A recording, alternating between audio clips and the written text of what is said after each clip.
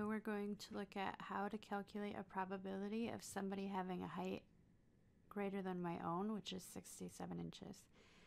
So you may recall from the example that we've been looking at, we have an average for the population of college females with a height of 65 inches and a corresponding standard deviation of 2.7 inches.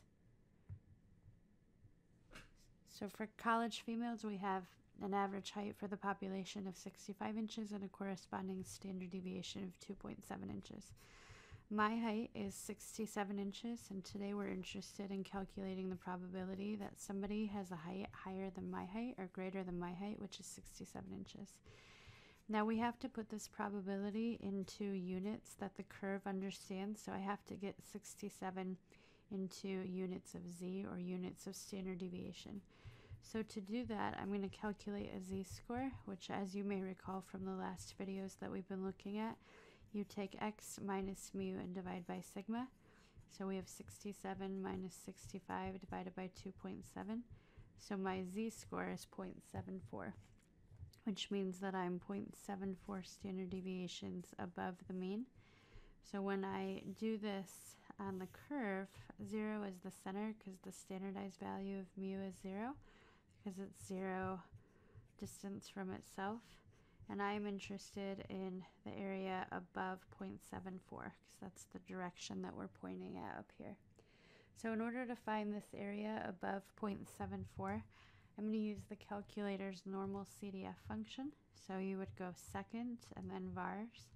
You want normal CDF and you want the lower bound or where the highlighting starts. So that's 0.74 and then the upper bound or where the highlighting ends. So technically the upper bound would end at positive infinity, but for all intents and purposes, 999 is sufficient. So because we're actually looking at standardized values, 0 and 1 are going to be used for mu and sigma respectively because this is the standardized curve. So just like mu is the center of the curve, its standardized value is 0 because it's no distance from itself, so we have 0. And then our units for sigma are going to be, or the value or measurement for sigma is 1 because that would be the standardized value.